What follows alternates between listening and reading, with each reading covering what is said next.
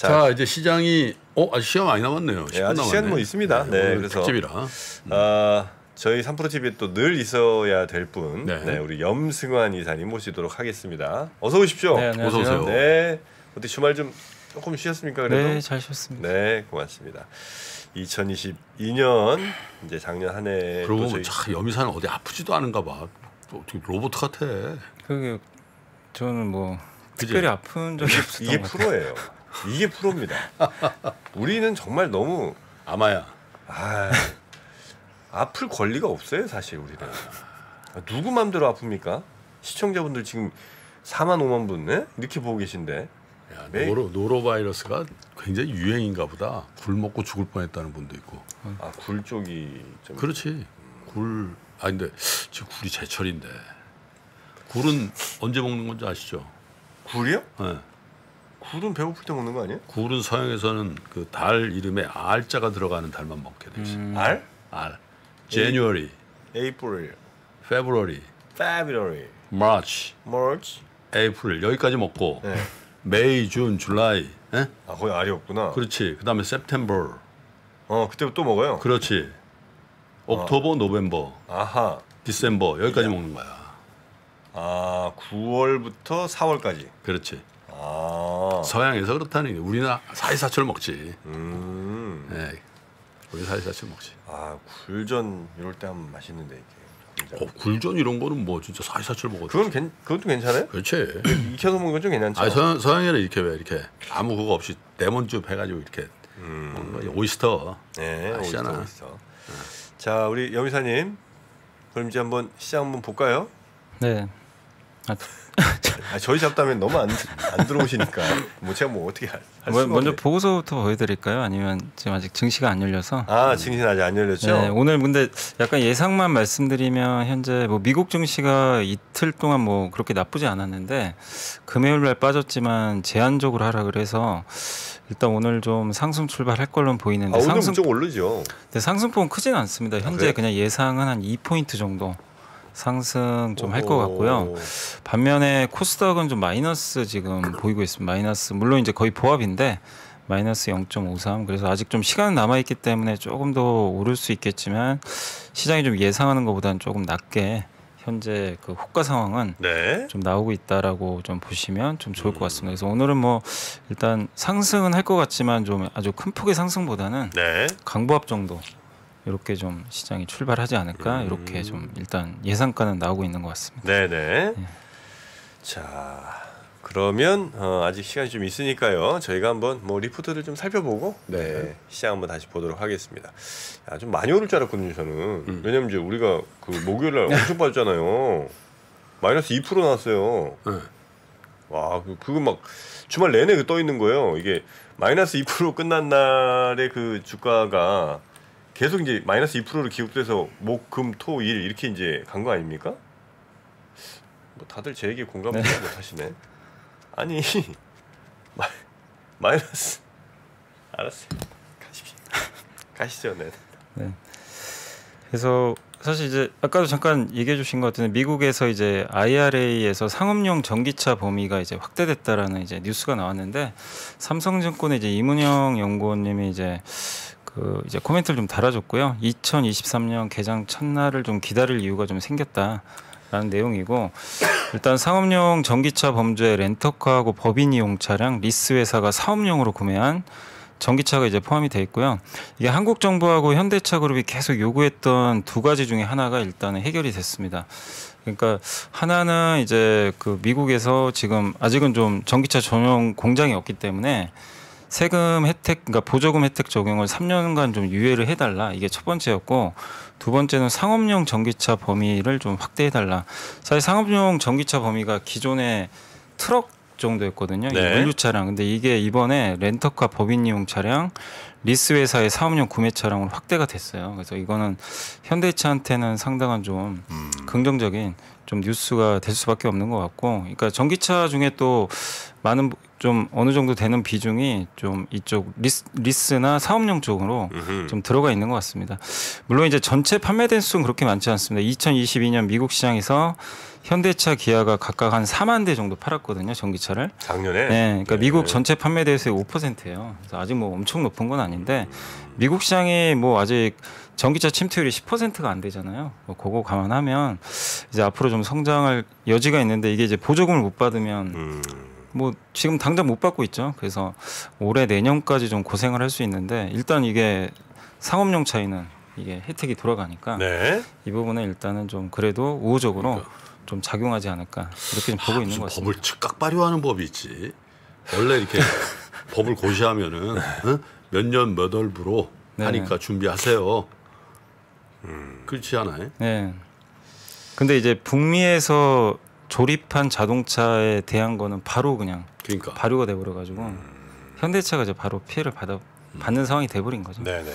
그래도 일단 이제 국내에서 좀 요구했던 둘 중에 하나는 일단 해결이 됐기 때문에 조금 리스크는 일부 완화될 수 있다라고 좀 보시면 좀 좋을 것 같습니다. 네. 야, 그러고 보니까 참 우리 여미사님 2년 전쯤에 왜 그때 이제 차장님이셨을 때 음. 그때 막 염차 염차 이런 걸로 이렇게 막 채팅창에 많이 올라오고 그랬었는데 음.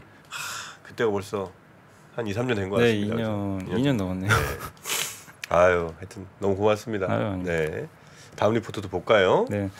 아, 그 시간이 이제 좀 됐으니까 그 일정만 좀 한번 일정만 예. 살펴보겠습니다. 이번 주 이제 1월 초인데 그 중국 12월 차이신 제조 PMI 발표가 있고요. 오늘은 이제 주요국 다 휴장합니다. 미국, 영국, 일본 휴장이에요? 중- 예, 신년 휴장이고요. 어. 특히 미국 같은 경우는 1월 1일이 이제 일요일이다 보니까 거기 이제 대체공휴, 네, 대체공휴. 대체공휴일 다 아, 적용되는 같아요. 우리나라는 왜 크리스마스하고 1월 1일 날 대체 공휴를 안 하는 거야? 나 이해가 막 아, 사실 그때 이제 딱 25일부터 쭉 쉬어주면 좋은데 그죠? 이러니까. 내년부터 한다는 얘기가 있던데.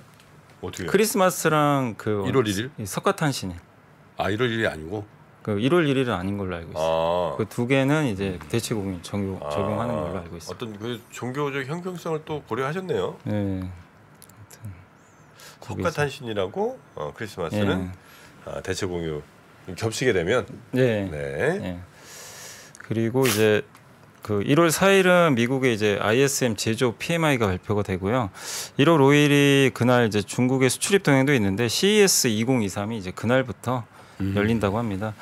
그리고 이제 1월 6일에는 제일 중요하죠. 미국의 12월 고용 보고서니까 네. 이게 예상보다 사실 좀 안 좋게 나와요. 좀 역설적이지만 고용이 안 좋아야 또 증시가 환호를 할 수 있을 것 같고요. 그리고 아직은 완전 확정은 아닌데 저도 저도 이제 기사를 찾아보니까 삼성전자 아마 금요일 날 4분기 실적 발표 예고돼 있는데 지금 아, 많이 예상이. 예상이 한 7조 정도 되는데 일부 증권사는 5조? 5조 원대도 지금 그러니까 나오고 있어요. 5조 때 얘기하는데. 예. 그래서 그거 좀 보시고 그다음에 그날 알츠하이머 치료제 레카네마비라고 있는데 레카네마. 요, 예, 요게 FDA 심사 결과가 나온다고 합니다. 요게 또 치매 관련해서? 한국 거예요? 아니 한국은 아닙니다. 근데 저게 이제 우리나라 기업들도 뭐 치매 치료제 있으니까 좀 영향을 좀 줄 것 같아요. 어. 그래서 저거 한번 보시면 야, 되겠고. 이번에 CES 많이 가더만. CS요? CES 또 이제 현장 늑보를 좀 네. 어레인지 해보려고. 저 좀 보내야죠. 태산이 높다대 고태봉 아, 센터한테 고태봉 전화를 했지. 네. 태봉이 어떻게 좀 좀 해줘야지 그랬더니 아 거기 가서요 일정이 바쁘고요. 어? 오늘 지금 오늘 지금 공항 가고 있을 거야 지금. 어 그래요? 정원석 의원하고 둘이 가더만 또. 어. 그래서 갔다 와서 그러면 출연하자. 아. 내년 했으니까. 아, 알겠습니다. 예. 그러면 CS의 아, 가장 정확한 이야기는 저희가 아, 두 분이 돌아오시면 그러니까. 예, 고태봉 센터장님, 정원석 위원 한번 모시도록 그러니까. 하겠고요. 자 장, 장이 네, 시작했네요. 잘 시작했습니다. 현재 지금 지수는 이제 예상은요 한 6포인트 정도 오르면서 출발할 것 같고요. 지수 나오면 또 말씀을 드리고 현재 삼성전자가 한1% 좋네요. 정도 예, 강세 출발했고요. 예, 지금 지수가 나왔습니다. 예상보다는 좋은 출발입니다. 지금 13.5포인트 올라서 0.61% 강세로 일단 시작을 했고요. 지수는 2,251포인트 기록을 하고 있습니다.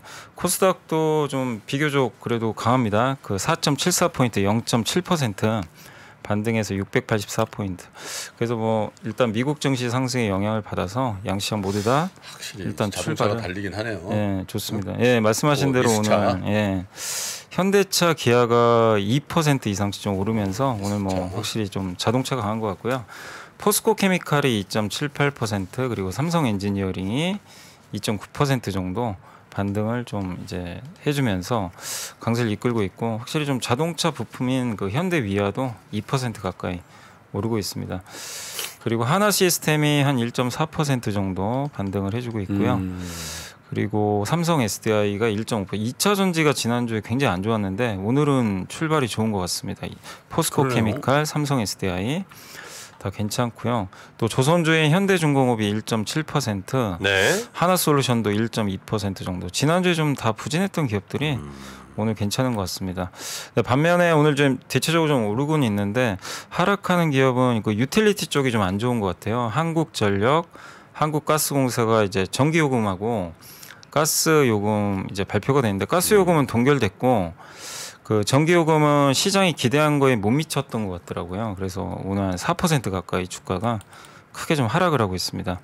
그리고 호텔 신라가 3.7% 지금 급락하고 있는데 아무래도 중국 입국이 이제 중국 입국자 좀 해제 소식은 좀 긍정적인데 지금 워낙 확진자가 또 많이 늘어나다 보니까 좀 일부 또 중국인 관광객 약간 규제하는 거 아니냐 이 우려가 좀 있는 것 어, 같아요. 그렇죠. 예, 그래서 중국 소비주가 지난주 후반에 좀 안 좋았잖아요. 네. 근데 이번 주에도 지금 LG생활건과 아모레퍼시픽, 호텔신라가 2% 이상 하락하고 있어서 지금 중국 소비주하고 이쪽 한전, 한국가스공사 이쪽이 조금 투자 심리가 좋지는 않은 것 같고요.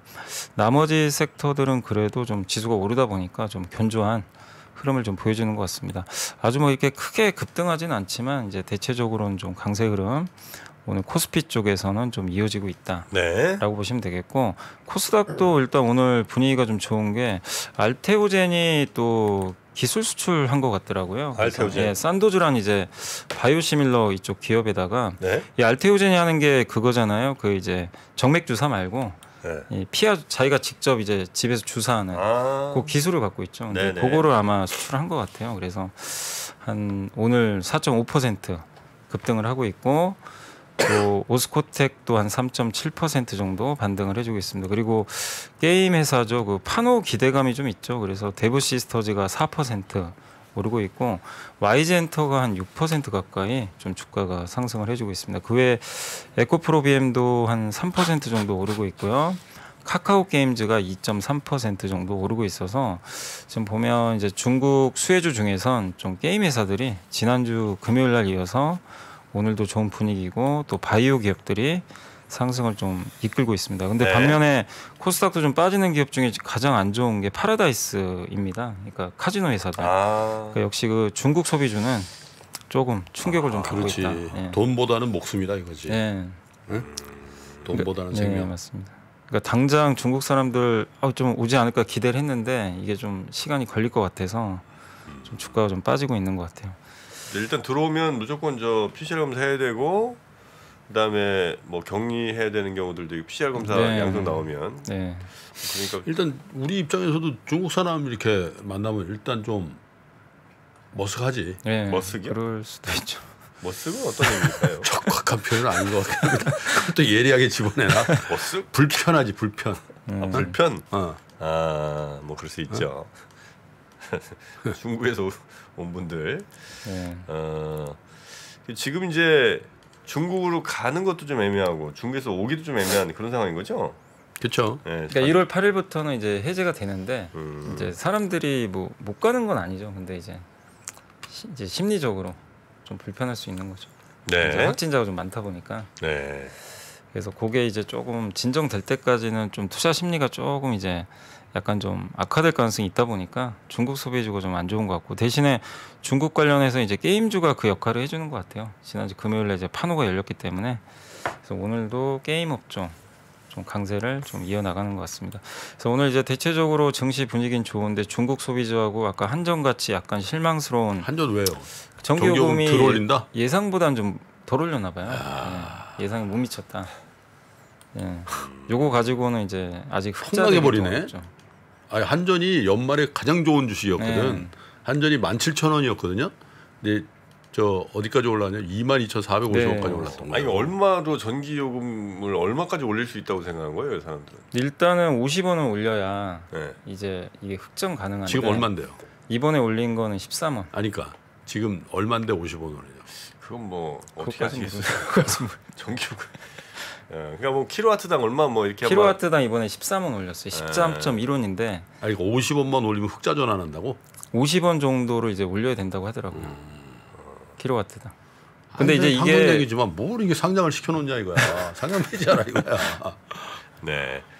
근데 이게 이제 이번 분기니까 또 연달아 올릴 수는 있어요. 아, 다음에 네, 또? 예, 근데 이제 일각에서는 계속 올릴 수 있을까 이 그러니까- 의심도 있는 거죠. 예. 그렇죠. 예. 올리기 쉽지 않을 것 같은데. 쉽진 않죠. 예, 지금 또 지금 물가도 생각해야 네, 되니까. 네. 안 그래도 지금 뭐 버스, 저하철, 뭐 택시 다 네. 막 오르는데 부담이 좀 아마 될 겁니다. 네. 미리 이렇게 좀 만약에 정말 꼭 올렸어야 되는 거라면 음. 미리 좀 올리는 것도 조금씩 조금씩 이렇게 아, 근데 국제유가 많이 빠졌잖아요. 국제유가 많이 빠졌더라고. 빠지긴 했는데 네? 다시 음. 또 최근에 80달러까지 또 올라갔어요. 에휴. 자, 이거 뭐야? 그래서 자, 이제 그런 기업들이 좀 약하긴 하지만 네. 그래서 이제 오늘 한국을 대표하는 이제 IT나 특히 현대차가 워낙 오늘 좀 좋다 보니까 음, 시장 그래도 좀 강세 흐름이 일단 오전장 펼쳐지고 있습니다. 그리고 오늘도 좀 수급 상황은 아직은 그렇게 좋지는 않고요. 외국인들이 오늘도 한 500억 정도 파는데 전기전자를 계속 파는 것 같아요. 여전히 좀 반도체, 2차 전지에 대해서는 조금 보수적으로 보고 있는 것 같고 유일하게 사고 있는 업종이 운수장비입니다. 운수장비 이제 음. 자동차니까 그래서 외국인들은 자동차에 대해서는 일단 오늘 호재가 나온 걸 좀 바로 반응을 해주고 있는 것 같고요. 음. 기관 투자들은 오늘 122억 정도 사고 있고 개인은 300억 정도 사는데 일단은 개인과 기관은 좀 동반해서 사고 있고요. 코스닥은 개인이 조금 팔고 있고 음. 기관이 조금 사고 있습니다. 그래서 외국인의 매도가 조금 아쉽지만 일단 기관들이 좀 방어는 해주는 그런 상황인 것 같습니다. 그리고 오늘 섹터 쪽으로는 여전히 그 코로나 이제 치료제 관련해서 좀 감기약 테마주가 아직까지는 좀 강한 것 같아요. 감기약이 좀 풍기 현상이 있다 보니까 그쪽 섹터가 좀 여전히 강하고 감기약 하면 대표적인 게 어디를 얘기를 하죠? 감기약이요? 어. 감기약인 그 브루펜 아닙니까? 아, 언제 때 프로펜이야? 대원 화콜. 제약 아닌가요? 대원 그 대원 콜대원 거. 콜대원인가? 콜대원. 네. 그거 요즘 많이 그것도 먹더라. 예. 어, 콜대원이요? 감기? 감비는 감기는 콘택백콘택 콘택 동화약품? 아니야? 모르죠. 판콜. 판콜. 판콜도 있죠. 예, 맞아. 판피리나세요. 네. 그렇지. 요거. 판피린. 네, 판피린. 판피린. 삼성제약인가 이거는? 음. 거기가 동화제약? 동아 동아인가? 동화인가? 다 동아약으로 갈까요 그냥? 동화 판콜. 동화 네. 감기약 하면 뭐 광동 쌍화탕 이거 아니야? 쌍화탕. 쌍화탕은 이제 음. 쌍화탕이죠. 예, 그건 이제 감기약이라고 하긴 조금 그렇지 않겠습니까? 여기 다 나오고 있어요 지금. 타이레놀 콜드, 판콜, 콜데원, 화이트벤. 화이트벤, 화이트벤. 아, 참 많이 팔렸죠. 쌈반 뭐냐? 쌈. 코리투살, 코리투살이라고 코코코 코리투살 그 귀여운데. 아 맞네요. 애들 그 감기약. 코코 코리투살. 음, 아, 대부분 콜데원하고 판피린 가는구나 보니까. 네. 음, 그지? 콜데원은 처방약인가 보네. 콜데원 네. 그냥 사는 거 아닌가? 아 그래요? 뭐 어. 처- 처방 나가는 거 진짜 많다는 뭐 아마 약국 계신 분 얘기인 것 같은데. 음. 콘택 600은 판금됐다는데 저왜뭔 일 콘택 있었나? 600이요? 어. 어 판금 판매 금지가 됐어요. 어. 왜? 아참 물어보셨죠 저한테? 아 이건 이제 감탄사입니다. 이거 다시 여쭤보면. 아 여기 나한테 답이 감기에는 상한가라는데 상한가 딱 치면은 감기 없어진다. 네, 뭐 하나 좀 나와줄 네, 만한 애가 상한가. 있- 상한가 있을래나? 깔 필요도 없어요. 5%. 5% 그럴 만한 애가 안 보이는데요. 네. 오늘 뭐 올라갈 친구들은 뭐 한솔 케미칼 조금 좋게 보고 있습니다. 5% 한쪽 가까이. 오르는 게 하나 있구나. 형님까지 또 이렇게 일이 하지 마시고요. 저만 할게요. 5% 이상 빠지는 것도 하나 있고. 자 네, 그러면 오늘 뭐 네. 그쪽 좀 강하고 자동차 대표주 강하고요. 2차 전지 업체들도 강하고 웹툰이나 게임주들도 좀 강세 보이고 있고 IT도 전체적으로 좀 좋은 분위기입니다. 그러니까 지난주 후반에 좀 부진했던 기업들이 다 오늘은 주 초반에 좀 좋은 출발을 일단 보여줬고요. 아까 말씀드린 대로 중국 소비주, 예, 뭐 특히 여행 관련주들하고 이 유틸리티 관련주들 이쪽 조금 약한 것 같고, 그러니까 또 음식료도 약간은 이제 탄력은 좀 떨어지는 것 같습니다. 그래서 최근에 좀 강했었던 연말 증시를 좀 이끌었던 기업들은 좀 빠지고, 예, 그리고 부진했던 수출 관련 대형주들이 좀 강세를 보이는 그런 오늘 오전장 출발을 보이는 것 같습니다. 네, 콜데오는 처방용과 약국 판매용이 따로 있다고 합니다. 네, 이렇게 정보 저 조정 좀 하겠습니다. 자, 그러면 어떻게 오늘 시장은 역시 코스닥이 좀 오르네. 네, 1% 이상. 말씀드렸잖아요. 네, 1% 이상 오르잖아요. 음. 코스닥은 이제 중국 소비주가 그 비중이 큰 편은 아니거든요. 크진 않고 이제 그쪽은 빠지는데 게임 뭐 엔터 또 거기다가 제약바이오 음흠. 이쪽이 좀 비중들이 크다 보니까 오늘 네. 그리고 오랜만에 2차 전지도 좋잖아요. 2차 전지 예, 괜찮고요. 그래서 오늘 좀 좋은 흐름 보여주는 것 같습니다. 네. 초반에. 알겠습니다. 자, 오늘 이제 장이 10시에 시작하는 이유로 저희가 아침 구성을 좀 다르게 네. 준비해서 우리 여미사님이 이제 에, 한 45분, 50분부터 이렇게 같이 해주셨고요. 오늘 내용들은 다 전해주셨을까요? 아니 아니 아니요, 더 아니요. 예, 예, 조금. 저도 끝낼 생각이 없습니다. 아, 갑자기 이렇게 사람 나쁜 사람 만들지 마시고요. 안 그래도 이제 전기 오늘 한전이 좀 안 좋긴 한데 네. 이게 같은 내용인데 사실 애널리스트 의견도 또 달라요. 제가 이제 두 가지 그냥 가져와 봤는데 유진 투자의 황성현 연구원 좀 보수적입니다. 예상 수준의 실망스러운 전기 요금 발표했다. 좀 실망스러운 좀 내용이고 13.1원 정도 인상했는데 요게 그 이번 전력량 요금은 90달러까지 상승한 국제 유가의 에너지 가격을 반영한 것으로 추정에는 이제 다- 그 여기 유진 투자 추정에는 좀 부합하는 수준이라고는 했는데 시장 기대에는 좀 못 미쳤던 것 같고 아까 말씀드린 대로 한전이 요청한 인상 규모는 킬로와트당 50원이거든요. 근데 그거는 아직까지는 좀 반영은 안 된 것 같고요.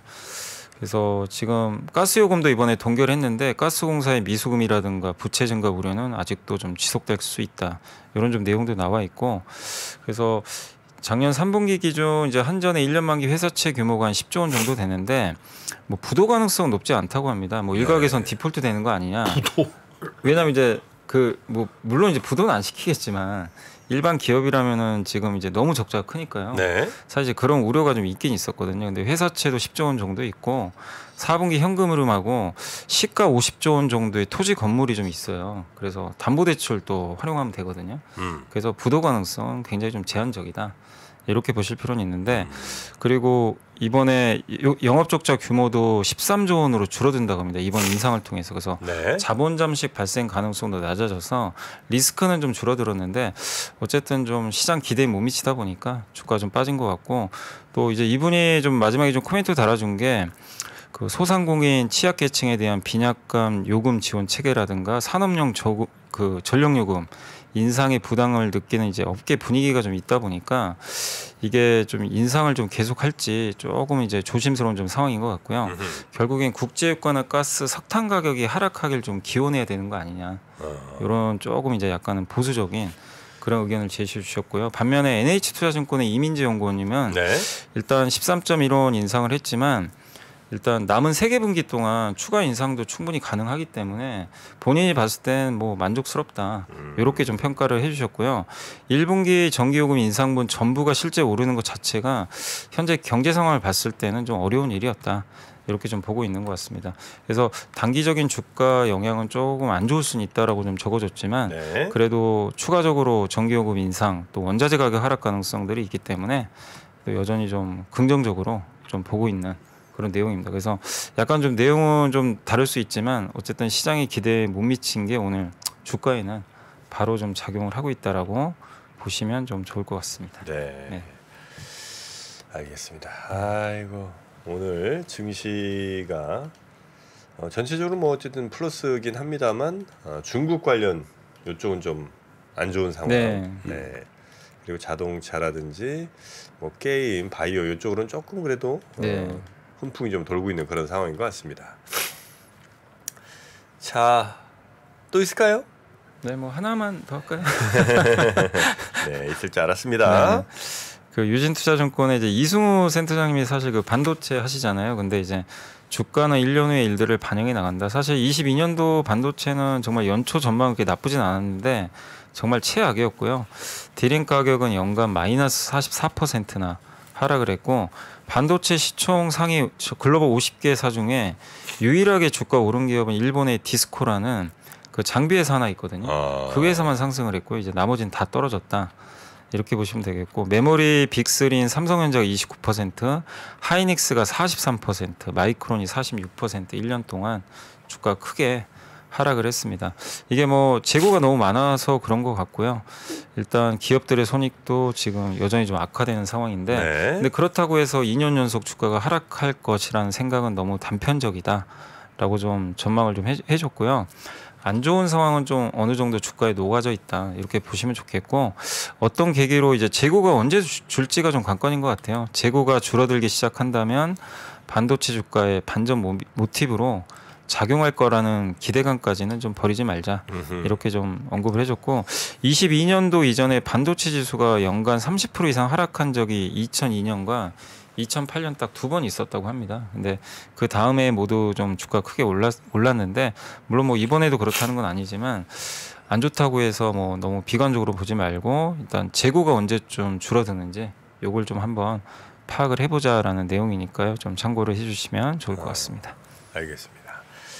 자, 네. YG도 YG에서 이제 새로 그룹 걸그룹이 하나 또 주, 네 어, 나온다고 하더라고요. 나오는 모양입니다. 이름이 뭐예요? 베이비 몬스터. 배몬. 아, 잘 줄이세요. 과연 배몬일까요? 배몬이지 뭐야 그러면? 아, 그 아, 뱀이 배복도 있었는데 배몬이 안 나오나? 아니 뭐 아. 불핑이라 그러니까 불핑, 배몬. 그 무조건 배달의 민족 모델을 해야 된다고 봐야 되겠네요, 여기는. 그럼 배민이잖아. 배민 배몬. 그 무슨 관련 있지? 하여튼 베이비 몇 인조예요? 몇 인조? 7인조? 7인조네요. 네. 음. 아 여기서 그거 할 뻔했네. 큰일 날 뻔했네요. 한놈 도지기 속성. 예, 7뜨기?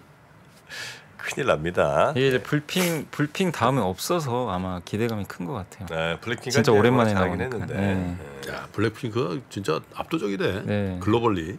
어? 아 유튜브 글로- 조회수 뭐 이런 거. 글로벌리 압도적이더만. 네, 우리나라 물론 이제 저 BTS가 훨씬 더뭐 음.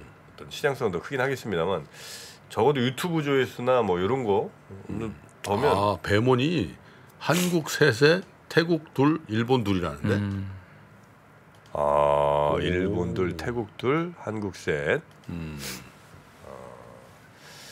알겠습니다. 이 7인조 어, 한번 잘 되시는지 한번 제가 보겠습니다. 자, 우리 염승환 이사님 이제 아, 새해가 이제 밝았습니다. 네네. 네, 새해 잘 밝았고요. 음. 올해도 우리 3프로 TV에서 또 자리 잘 지켜주시고, 네, 네 네. 우리 시, 시청하시는 분들 또 투자하시는 분들이 아침에 우리 염 이사님과 함께 시작 잘 하실 수 있도록 좀 잘 부탁드리겠습니다. 네, 저도 잘 부탁드리겠습니다. 네, 염 이사님 오늘 고생 많으셨고 네, 내일 감사- 뵙겠습니다. 네, 감사합니다. 감사합니다. 네.